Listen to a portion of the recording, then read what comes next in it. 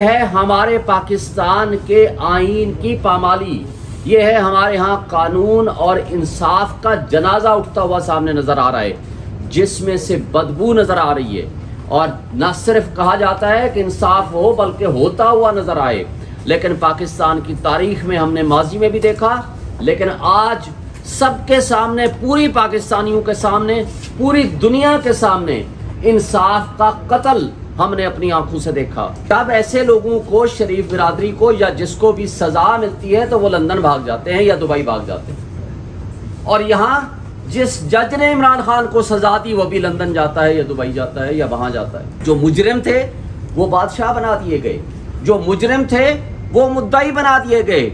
और जो मुजरिम थे, उनके वकील हमारे खिलाफ वकील हैं। इलेक्शन कमीशन की तरफ़ से। ये है इलेक्शन कमीशन का कंडक्ट और उसकी इम्पार्शलिटी गैर जानबदारी जो आप सब देख रहे हैं। आज हमारे चेयरमैन जेल में हैं। इसके बावजूद हमारे हज़ारों की तादाद में वर्कर्स जेलों में सड़ रहे हैं। इसके बावजूद हमारा सैकड़ों हज़ारों की तादाद में लोगों को उठाया हुआ है।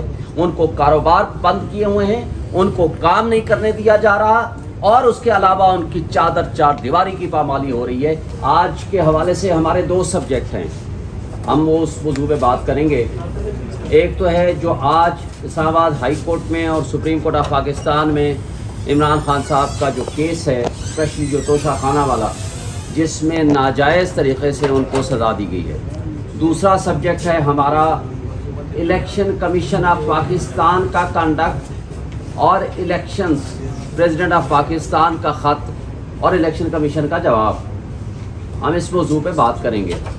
ये दोनों बड़े इंपॉर्टेंट सब्जेक्ट हैं। इस लिहाज से सबसे पहले हम बात करना चाहेंगे, जो आज होता रहा है इस्लामाबाद हाई कोर्ट में और सुप्रीम कोर्ट ऑफ़ पाकिस्तान में। ये तो किसी शक व शुबा से बालातर हो गई है ये बात कि मुतासिब जज हुमायूं दिलावर ने बग़ैर हमें सुने यक तरफा फैसला किया और जब ये कहते हैं कि आप शवाहद पेश नहीं करते, नहीं कर सके तो जब हम शवाहद और गवाहान की फहरिस्त देते हैं तो 12 बजे वो कहते हैं, डेढ़ बजे ले आइए अपने गवाहान।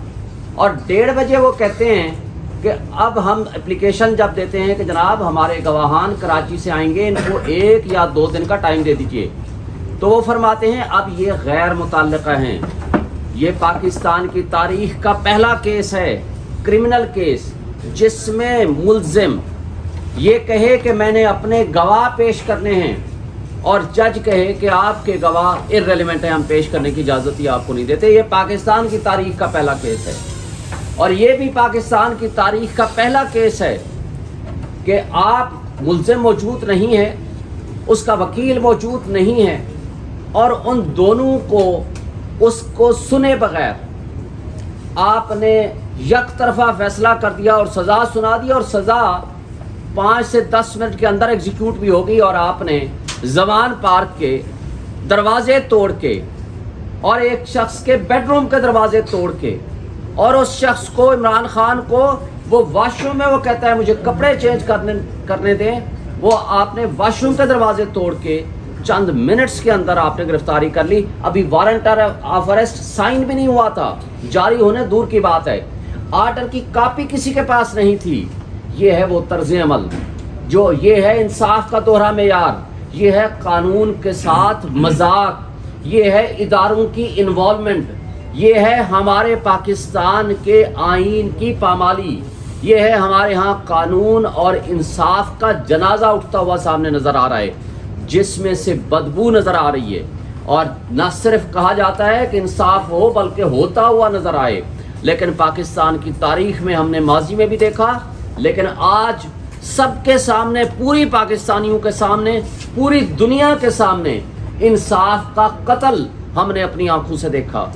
और जब इस्लामाबाद हाई कोर्ट के चीफ जस्टिस साहब को सुप्रीम कोर्ट ये हुक्म देती है कि आप ये केस खुद सुन के फैसला करें जुरिस्डिक्शन पे और मेंटेनेबिलिटी पे और लिमिटेशन पे और इलेक्शन कमीशन के अथॉरिटी पे ऑथोराइज पर्सन पे। आप फैसला करें तो जस्टिस आमिर फारूक साहब सुने बगैर वो भी दोबारा उसी तीसरी मरतबा उसी जज को वापस भेज देते हैं। और ये करते हैं तीन तारीख को आर्डर चार की शाम को हमें आर्डर मिलता है, चार अगस्त को, तीन तारीख का आर्डर है। और चार को ही चीफ जस्टिस आमिर फारूक साहब उसी मुतासिब जज को, हुमायूं दिलावर को एक स्पेशल नवाजिश फरमाते हैं कि एक जज जो कि ट्रेनिंग पे जा रहा था यूके उसको तब्दील करके उस हमायूं दिलावर को नॉमिनेट कर दिया कि जी आज आप पाँच तारीख को चले जाएँ। कल बार बार सवाल हुआ कि जी उस जज साहब को जल्दी क्या थी? जल्दी ये थी कि उन्होंने उसी दिन शाम को पाँच तारीख को ही लंदन यूके रवाना होना था। ये भी हुसन इतफाक़ है। हुसन इत्तेफाक ये है कि जब ऐसे लोगों को, शरीफ बिरादरी को या जिसको भी सजा मिलती है तो वो लंदन भाग जाते हैं या दुबई भाग जाते हैं। और यहाँ जिस जज ने इमरान खान को सजा दी वह भी लंदन जाता है या दुबई जाता है या वहाँ जाता है। ये जगह कब कदर मुश्तरक है। फिर यहाँ ये भी हमने माजी में देखा कि जिसको सजा होती है, वो बीमारी का बहाना बना के लंदन चला जाता है। और यहाँ जो जिस, जो शख्स सजा देता है वो बीमार हो जाते हैं और हमारे केसेस ही नहीं लगते। वो जज से बहानी बीमार हो जाते हैं। ये काबिल अफसोस है, या उसने इतफाक है?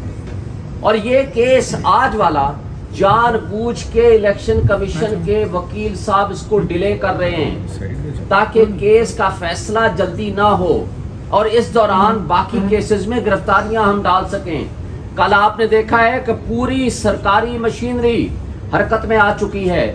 अब आईजी साहब को भी फ़िक्र लाक हो गई कि जनाब जाएँ, बाकी केसेस पड़े हुए हैं। वो केसेस जिसमें इमरान खान साहब के अदम पैरवी केसेस खारिज हुए हैं जमानते हैं। और अदम पैरवी क्यों? कि जी वो आए नहीं हैं। भाई, वो कैसे आए? क्या वो जानबूझ के नहीं आ रहे? आप प्रोडक्शन ऑर्डर जारी करें। लेकिन उनको भी जल्दी हो गई। साइफर के केस में एफ़ आई ए को भी जल्दी हो गई। और बाकी भी जो आपने देखा है, जहाँ तमाशा लगा हुआ है और कल उस फाशिस्ट हुकूमत के वो सबक वजरा यहाँ प्रेस कॉन्फ्रेंसेस कल से किए जा रहे हैं कि सुप्रीम कोर्ट इसमें नोटिस क्यों ले लिया? भाई, सुप्रीम कोर्ट के पास एक पटिशन आई है और इलेक्शन कमीशन का वकील सरकारी मौजूद हैं, अटॉर्नी जनरल ऑफ़िस मौजूद है। काजी फाइसा साहब की जजमेंट है कि जब कोई सरकारी वकील किसी केस को करने का नाअहल हो ये लिख के देगा कि मैं ये केस हम नहीं कर सकते, हमारे पास अहलियत नहीं है। फिर आप प्राइवेट काउंसल कर सकते हैं। तो किस कैपेसिटी में आपने प्राइवेट काउंसल किया हुआ है? सिर्फ़ प्राइवेट काउंसल नहीं, ये वो काउंसल हैं जो नवाज़ शरीफ और उसकी फैमिली के मुकदमात के वकील हैं। उनको इलेक्शन कमीशन कितना इम्पार्शल होगा, कितना वो एक लिहाज से गैर जानबदार होगा? कि वो नवाज़ शरीफ की फैमिली का वकील ही उनको प्राइवेट वकील मिला है, जो आकर के यहाँ मुकदमा लड़े। और वो मुकदमा जो पाँच से दस मिनट और आधे घंटे का केस नहीं है, क्योंकि जमानत देने और सेंटेंस और जजमेंट को सस्पेंड करने के लिए बेसिक सिर्फ़ प्रिंसिपल्स देखे जाते हैं। और यहाँ तो प्रिंसिपल्स नहीं, सब कुछ गैर कानूनी आपके सामने नज़र आ रहा है। वो सुनने की बजाय आज सारा दिन वो जनाब किताबें पढ़े जा रहे हैं। चलो भाई, पढ़ लो तुम ये भी। लेकिन काबिल अफसोस बात यह है कि सुप्रीम कोर्ट के हुक्म को इस्लामाबाद हाई कोर्ट नहीं मानता। इस्लामाबाद हाई कोर्ट के हुक्म को डिस्ट्रिक्ट एंड सेशन जज नहीं मानती। और हम लोग जो पिछले 18 दिन से गैर आइनी और गैर कानूनी तौर पर पाबंद सलासल रखा हुआ है कि एक दिन का भी, एक घंटे का भी हिसाब देना पड़ेगा कि आप लाइफ एंड लिबर्टी किसी की आप कैसे खराब कर सकते हैं। और इस केस में वो तोशा खाना जो उन लोगों ने, जो खा शायद खा खान अब्बासी हो, नवाज़ शरीफ हो, तमाम लोगों ने वो घड़ियाँ भी ली और उनको डिक्लेयर भी नहीं किया। और उससे बड़ा जुर्म, गाड़ियाँ ली जो खिलाफ जबता, खिलाफ कानून वो ले नहीं सकते थे। क्योंकि कानून में लिखा हुआ है कि गाड़ियाँ कोई शख्स नहीं लेगा। मरियम नवाज़ ने गाड़ी ली मंसूर अवान का प्रोग्राम आप सबने देखा है, माशाल्लाह आप सारे साथी और सोशल मीडिया के दोस्त बैठे हुए हैं। और उसके साथ जरदारी साहब ने तीन गाड़ियाँ ली। नवाज़ शरीफ ने एक गाड़ी ली, यूसुफ गिलानी ने एक गाड़ी ली जो कि नहीं ले सकते। नैब का केस बना और नैब के लॉ को ही तब्दील करके वो रेफरेंस ख़त्म हो गया और वो किसी कोर्ट में नहीं पहुँचा वो केस। और जो मुजरिम थे, वो बादशाह बना दिए गए। जो मुजरिम थे, वो मुद्दा ही बना दिए गए। और जो मुजरिम थे, उनके वकील हमारे खिलाफ वकील हैं। इलेक्शन कमीशन की तरफ़ से। ये है इलेक्शन कमीशन का कंडक्ट और उसकी इम्पार्शलिटी गैर जानबदारी जो आप सब देख रहे हैं। अब दूसरी बात, आज दूसरे सब्जेक्ट में आप आ रहा हूँ और हमें तो और उम्मीद है। हम रूल ऑफ़ लॉ पे बिलीव करते हैं, हम आइन पे बिलीव करते हैं, हम अदालतों की तरफ़ देख रहे हैं। ये मुनसिफ ही रूल ऑफ़ लॉ कायम करके इस मुल्क को बचा सकते हैं। रूल ऑफ़ लॉ के अलावा दुनिया में कभी किसी ने तरक्की नहीं की। और एक बात बता दूँ, मुझे बताएँ, पाकिस्तान से बाहर बैठने वाला कोई भी हमारा पाकिस्तानी हो या कोई भी शख्स हो, आज आपका जो यूथ है वो यहाँ से भाग रहा है। लोग यहाँ से पैसा लेके भाग रहे हैं। वजह क्या है कि उनको आपके निज़ाम इंसाफ पे बिलीव नहीं है। आपको यहाँ के कानून पे बिलीव नहीं है। किसी को किसी भी वक्त उठाया जा सकता है, गायब किया जा सकता है। किधर है आज इमरान रियाज? जो लॉ इन्फोर्समेंट एजेंसीज के हाथों से गायब हो गया और हज़ारों की तादाद में लोगों को उठाया गया जिनका पता ही कोई नहीं है। और इस तरह का तर्ज अमल कभी रियासतों को तरक्की नहीं देता। आज जितनी बेयकीनी और अनसर्टेनिटी है और रोज आपका डॉलर बढ़ रहा है, रोज आपका पेट्रोल बढ़ रहा है, रोज आपका बिजली के यूनिट आपके बढ़ रहे हैं, क्या गरीब आदमी को ज़िंदा रहने देना है? इस फाशिस्ट हुकूमत और उसकी आगे आने वाली एक्सटेंशन जो आज बैठी हुई है और फिर कल एक adviser to chief minister Mohsin Naqvi साहब, कंवर दिलशाह साहब कहते हैं, जी, अगले साल मई में हम इलेक्शन कराएँगे। भाई, अगले साल मई में क्यों? आप दस साल बाद करा लो। जियाउल ने कहा था, नो, नाइन्टी डेज़ में इलेक्शन कराऊँगा। उसके बाद ग्यारह साल नहीं कराए, किसने पूछा? इसलिए कि आइन मुअत्तल था। आज भी आप आइन को प्रैक्टिकली मुअत्तल कर चुके हैं।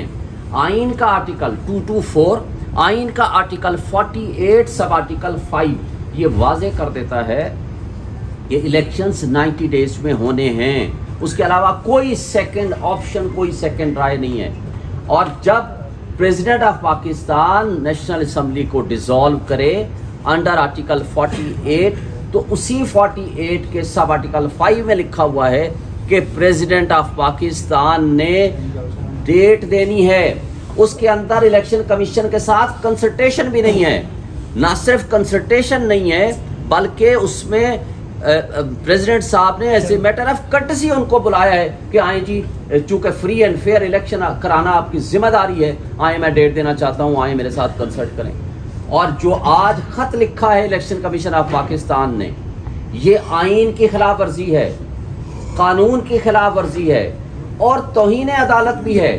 वजह उसकी क्या है कि इस प्रिंसिपल को सुप्रीम कोर्ट ऑफ़ पाकिस्तान यकुम मार्च और चार चार के फैसले में, जो कि रिपोर्टेड जजमेंट भी अब हो चुकी है, उसको रीडिटर्मिन कर चुके हैं, उसको इंटरप्रेट कर चुके हैं डिफाइन कर चुके हैं। तो अब उस इशू को, जिसको already supreme court of Pakistan determine कर चुकी है तो इलेक्शन कमीशन प्रेसिडेंट को कहता है, आपको पावर नहीं है, आपको अख्तियार ही नहीं है। एक बात वाजे कर दें, अगर प्रेसिडेंट ऑफ़ पाकिस्तान ये असम्बली डिजोल्व ना करते बाई एफ्लक्स ऑफ़ टाइम ये डिजोल्व हो जाती तो उस सूरत में सेक्शन 57 वो फिर फ़ील्ड में आ जाता इलेक्शन एक्ट का, जो कि अब वो प्रेसिडेंट से पावर हटा के इन्होंने इलेक्शन कमीशन को पावर दे दी है।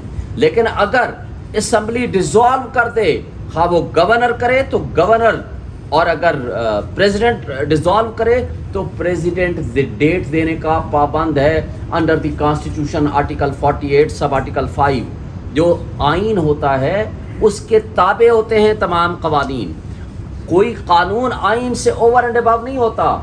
ये उल्टा बात कर रहे हैं। ये इलेक्शन कमीशन ऑफ़ पाकिस्तान की इसका मतलब है गैर जानबदारी तो आपके सामने आ चुकी है कि वो किस कदर जानबदार हैं। इसका मतलब ये है कि वो जो फाशिस्ट हुकूमत जिसका खात्मा आठ तारीख नौ तारीख को हुआ था शहबाज शरीफ की जेर क़्यादत इसका मतलब है कि उनके साथ मिल के इन्होंने साजिश प्लान की थी ताकि हमने इलेक्शन विद इन टाइम नहीं होने देना। यही वजह थी कि कल से बड़ी तकलीफ़ होनी शुरू हो गई है। इसके बावजूद दो पॉलिटिकल पार्टीज़ ने आज इस हमारे इस मुतालबे को एक्सेप्ट करने का फैसला किया है, जिसमें पाकिस्तान पीपल्स पार्टी और जे यू आई ये अलग बात है कि मैं बबांगे तोहला आपको कहता हूँ कि पीपल्स पार्टी का कंडक्ट बिल्कुल वो दोगला रहा मुनाफाना पॉलिसी थी कि जब आप सेंसेस के इशू पे खुद कहते रहे, वो तो P Peoples Party P M L N के लोग भी कहते रहे कि जनाब हमने पुराने मरतब शुमारी पे इलेक्शन कराएँगे। लेकिन मुराद अली शाह की अपनी बात और पीपल्स पार्टी वालों ने कहा कि हमने पुरानी मरतब शुमारी पे कराएँगे, हम जाकर मुखालफत करेंगे। फिर वहाँ मुखालफत क्यों नहीं की? आपने एक बारूदी सुरंग खुद बिछा कर गए हैं जमहूरियत के खिलाफ और फिर आज आप कहते हैं नाइन्टी डेज़ में इलेक्शन करा दें, कैसे मुमकिन है? लेकिन बहरहाल, जिसको कहते हैं देर आयत, दुरुस्त आयत, अगर उनको ये एहसास हो गया है तो हम जमहूरी ताकतों को वेलकम करेंगे कि हमारे इस मुतालबे के साथ खड़े हों। इसके बावजूद कि आज हमारे चेयरमैन जेल में हैं। इसके बावजूद हमारे हज़ारों की तादाद में वर्कर्स जेलों में सड़ रहे हैं। इसके बावजूद हमारा सैकड़ों हज़ारों की तादाद में लोगों को उठाया हुआ है।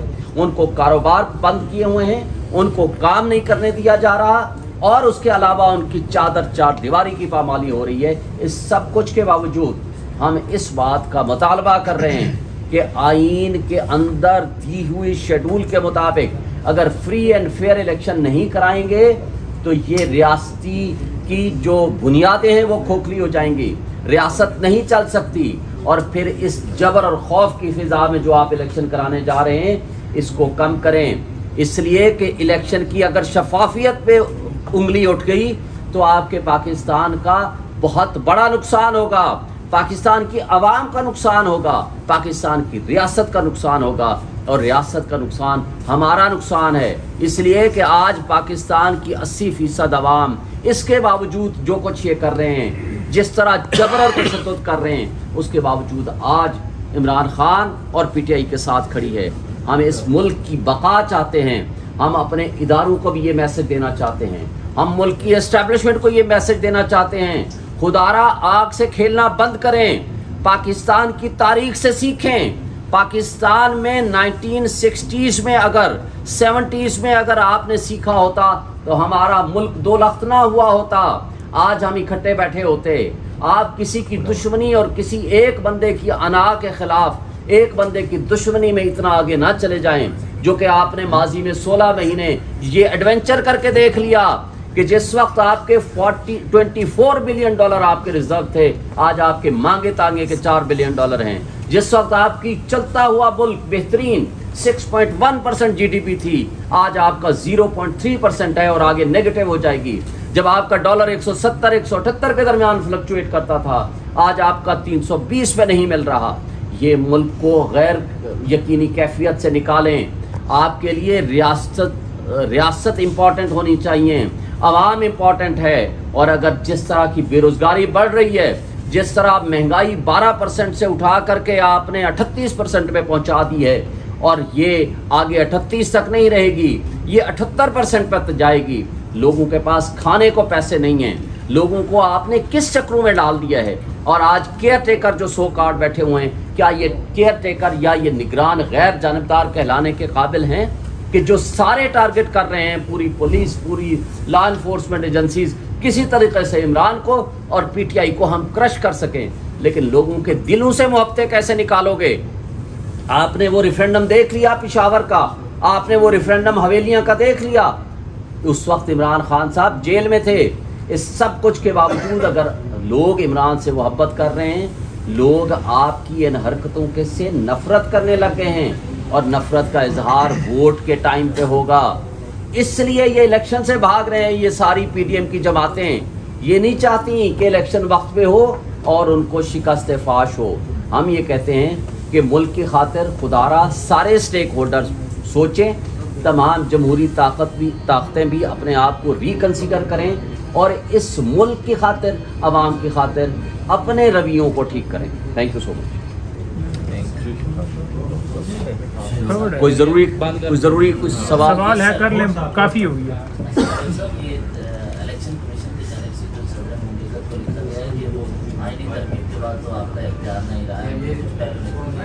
तो इस तनाजर में जब सदर पाकिस्तान का अहदा भी अहम नहीं उनके लिए तो कैसे वो इलेक्शन करवाएँगे या आगे बात मानेंगे हम तो पहले दिन से चीख रहे हैं कि इलेक्शन कमीशन ऑफ़ पाकिस्तान गैर जानबदार नहीं है। वो इन पीडीएम की जमातों के साथ मिला हुआ है। जब इमरान खान साहब ये कहते थे तो हमें कहा जाता था कि आप तोहीन इलेक्शन कमीशन कह रहे, कर रहे हैं। तो भाई आज जब आइन बाला तर है, सुप्रीम कोर्ट ये अपने फैसले में लिख के दे चुकी है कि इलेक्शन कमीशन ने जमहूरियत को डिरेल किया जो within ninety days election नहीं कराए पंजाब और के पी के। और साथ आइन की खिलाफ वर्जी की है। लेकिन उस सब कुछ के बावजूद आपके सामने जो ख़त लिखा है ये गैर आइनी भी है गैर कानूनी भी है और तोहन अदालत भी है। सुप्रीम कोर्ट की जजमेंट के भी खिलाफ है। मैं सिर्फ़ एक पॉइंट इस पर ऐड करता हूँ जो आपका क्वेश्चन देखिए सदर स्टेट का सरबरा है रियासत का सरबराह वो फेडरेशन का हिस्सा है वो पार्लिमान का हिस्सा है। और पार्लिमान के हिस्से होने के साथ साथ वो वाहिद पर्सन है जो अपोलिटिकल है, जिस सियासी जुमात के साथ उसका ताल्लुक नहीं होता, और वो सरबराह की हैसियत से जब माना जाता है तो उसकी बड़ी ज़िम्मेदारी है आइनी और हमारे आइन में बाकी आइनों से बड़ा फ़र्क है, ख़ासकर इंडिया से बड़ा फ़र्क है। वहाँ उनका सदर सेरिमोनियल होता है, हमारे सदर के पास कॉन्स्टिट्यूशनल जिम्मेदारियाँ भी हैं। एक इलेक्शन कमिश्नर का अपने सदर ममलिकत को ये ख़त लिखना कि आपके पास इख्तियार नहीं है, मैं आपके साथ मुलाकात के लिए नहीं आ रहा। मैं समझता हूँ सियासत को एक साइड पे रख लें। ये ईवान ईवान की तोहन है। वो एक सरबराह की हैसियत से बुला रहे थे। भला इलेक्शन कमीशन उससे डिसग्री करता। इलेक्शन कमीशन ज़रूर कहता, सर, हम आपकी बात नहीं मान सकते। क्योंकि हम आइन और कानून पे चलते हैं। हमारे इंटरप्रटेशन के मुताबिक अब ये इख्तियार हमारा है। पर मुलाकात हर सूरत करनी चाहिए थी और ऐसे जवाब नहीं देना चाहिए था। जहाँ तक इस बात का ताल्लुक है कि उसमें अमेंडमेंट हुई है वो सुप्रीम कोर्ट अपनी पहली कॉन्स्टिट्यूशन पिटीशन नंबर वन में होल्ड कर चुकी है कि इसम्बली तीन सूरतों में डिज़ॉल्व होती है। उसमें मौजूदा सूरत में सुप्रीम कोर्ट ने जो उसका रिव्यू भी नहीं है वो सुप्रीम कोर्ट ये होल्ड कर चुकी है कि अगर एक दिन पहले भी असम्बली डिज़ॉल्व हो जाए, उस सूरत में भी सदर के पास ये इख्तियार है कि वो तारीख का तयन करे और इलेक्शन 90 डेज़ में होंगे। मैं समझता हूँ इलेक्शन कमीशन को अगर जो लेटर उन्होंने लिखा है, ये बरतानिया और अमेरिका में किसी मुल्क में हुआ होता तो वो वहाँ, यहाँ हमारा इलेक्शन कमिश्नर नहीं कहता वहाँ उनका मेयर भी उसको बुला लेता और कंटेम्प्ट में होल्ड करता। ये बड़ा सीरियस है। जी हम सुप्रीम कोर्ट में जा रहे हैं इंशाल्लाह। सीसीआई के खिलाफ भी कल अभी आपको बताया था election within ninety days कराने के लिए और इस लेटर को भी साथ चैलेंज करेंगे। अच्छा सर एक सवाल एक सवाल ये है कि जो इमरान खान को इस वक्त जो अदालतों से जो फैसलों का सामना है उनके खिलाफ आने वाले फैसले और दीगर इशूज़ की वजह से इंटरनेशनल फोरम्स में भी आवाज़ बुलंद करने के हवाले से जो बात चल रही थी उसके हवाले से क्या डेवलपमेंट देखें इंटरनेशनल फोरम्स पे पीटीआई वहाँ बड़ी एक्टिव है पीटीआई के वर्कर्स एक्टिव हैं वो ज़रूर आवाज़ उठा रहे हैं वहाँ एहतजाज भी करते हैं। लेकिन हमने सख्ती से मना किया हुआ है कि हमारे नाम पे या लीगल टीम के नाम पे कोई फंड्स रेज ना करे ऑफिशियल पीटीआई के अलावा। हमें पहले पता चला था कि किसी ने वहाँ यूके में फंड्स रेजिंग के लिए किसी एनजीओ ने काम शुरू किया है। हमने उसकी सख्ती से तरदीद की है। यहाँ इस्लामाबाद से भी और वहाँ पीटीआई ऑफिशियल से भी। और कोई भी हमारे नाम पे कोई इस तरह की करे तो हमने उसको सख्ती से तरदीद कर दिया इसका कोई वजूद नहीं है। इन्होंने केसेस के बारे में बताया सिर्फ़ एक पॉइंट ऐड कर दूँ। इन्होंने केसेस के बारे में बताया हमारे आइन का ये तकाजा है कि अगर किसी को आप अरेस्ट करते हैं तो within twenty four hours आपने उसको आइनी तौर पर बताना है कि आप मेरे साथ इस केस में अंडर अरेस्ट है। हम आपको ये ऑफिशियली बताते हैं। खान साहब के पास कोई ऐसा नहीं गया है कि जिस केस में वो कन्विक्ट हो कि जेल है उसके अलावा किसी और केस में उसको अरेस्ट किया गया थैंक यू